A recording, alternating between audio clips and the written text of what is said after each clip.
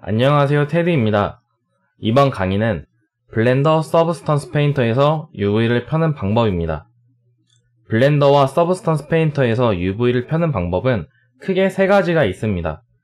Blender에서 수동과 자동으로 펴는 방법, Substance Painter에서 자동으로 펴는 방법, 이렇게 세 가지가 있습니다. 그럼 이 세 가지 방법의 장점과 단점을 설명드리면서 간단한 팁도 알려드리겠습니다. 우선 UV란 무엇인가? 제가 예전에 올려뒀던 영상을 공유해 드릴 테니 먼저 보고 오면 이해하는데 도움이 되실 거예요. 이번 강의에서는 아주 간단하게만 설명하고 넘어가겠습니다. X, Y, Z의 3차원의 좌표를 UV라는 2차원의 좌표로 나타낸 것을 UV라고 합니다. 3차원의 좌표를 2차원으로 펴서 평면으로 만드는 것을 UV 연랩이라고 하고 그 결과물을 UV map이라고 이해하시면 됩니다. 그 UV 맵에 텍스처나 페인팅을 하는 행위를 매핑 혹은 texturing이라고 생각하시면 됩니다. 첫 번째 Blender에서 수동으로 펴는 방법부터 알려드리겠습니다. UV는 UV editing 패널에 들어가서 주로 작업하게 되는데 object data properties에 들어가면 UV의 상태를 확인할 수 있습니다.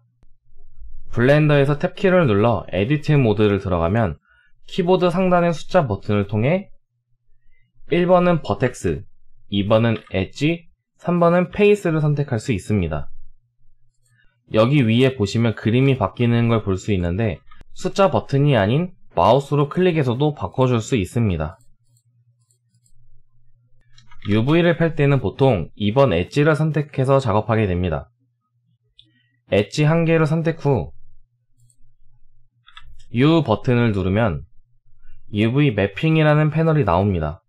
그 다음 마크 심을 누르면 빨간색으로 선의 색상이 바뀌게 됩니다.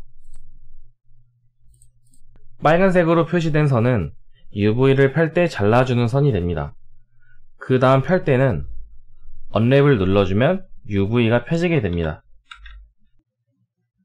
왼쪽 패널에서 UV가 이상하게 나오는 이유는 제대로 펴지지 않아서 그렇습니다. 이렇게 다른 엣지도 마크심을 설정해주고 다시 언랩을 해주면 이렇게 UV가 잘 펴지게 됩니다.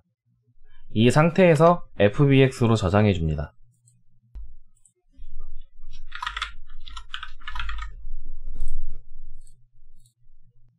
Substance Painter에서 저장한 FBX 파일을 불러옵니다.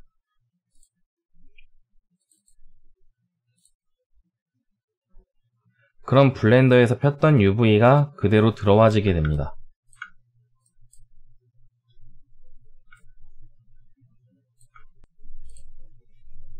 그 다음 두 번째는 Blender에서 자동으로 펴는 방법입니다. U 버튼을 눌러서 스마트 UV 프로젝트를 눌러줍니다. 그러면 angle limit, island margin, area weight 이렇게 세 개가 나옵니다. angle limit는 수치에 따라서 UV를 적게 만들거나 많게 만들어줍니다. 이 옵션은 거의 쓰질 않아서 중요하진 않습니다. island margin은 수치가 커질수록 UV의 간격을 늘려줍니다. area weight는 UV의 면적이 클수록 하나의 면적으로 크게 잡아주는 옵션이라고 생각하면 될 것 같습니다. 그래서 이 세 가지 옵션을 가지고 그나마 마음에 드는 UV map을 만들어주면 됩니다.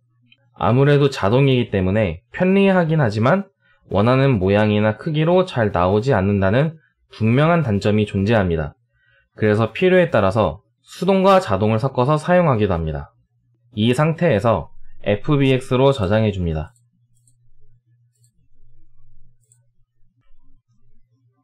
Substance Painter에서 저장한 FBX 파일을 불러옵니다. 그럼 Blender에서 폈던 UV가 그대로 들어오게 됩니다.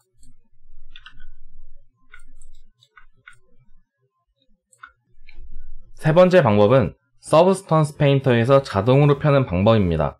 서브스턴스 페인터에서 자동으로 펴는 방법에는 UV 맵스가 없어야 한다는 조건이 있습니다. UV 맵을 리무브 해주겠습니다. 그 다음 FBX 파일로 저장해서 Substance Painter로 가져가면 자동으로 펴지게 됩니다.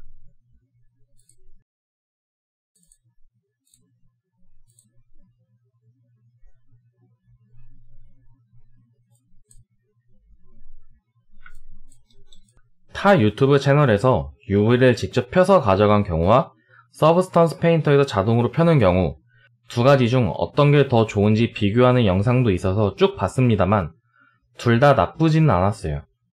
단순히 UV map을 촘촘하고 디테일하게 정리하지 않아도 되거나 스캔 파일 등 retopology가 안 된 파일을 빠르게 unwrap할 때는 자동으로 펴도 되고 그 외에는 수동으로 펴는 것도 좋더라고요. 이번 강의에서 이렇게 쭉 세 가지를 알려드렸는데 각각의 장점과 단점을 알려드리자면 자동으로 펴는 방법과 수동으로 펴는 방법에는 극명한 차이가 존재합니다. 자동은 우선 쉽고 빠르지만 원하는 대로 잘려지지 않는다. 수동은 느리고 복잡하지만 원하는 대로 자를 수 있다. 더 나아가 정말 복잡한 모델링이고 텍스처의 품질을 최초부터 낮게 설정하고 잘 보이지 않는 곳에 있는 asset이라면 UV를 자동으로 펴도 괜찮습니다. 그러나 카메라나 동선에 잘 보이는 곳에 위치한 asset이라 텍스처 품질도 높게 해서 작업해야 한다면 자동보단 수동으로 펴서 깔끔하고 수정에도 용이하게 작업하는 게 좋습니다. Substance Painter에서 자동으로 펴는 방법과 비교한 영상은 위에 링크를 달아드리겠습니다. 프로젝트에 따라서 좀 더 효율적인 방법을 사용하면 될 것 같습니다. 이상으로 Blender Substance Painter에서 UV를 펴는 방법 강의를 마치겠습니다. 감사합니다.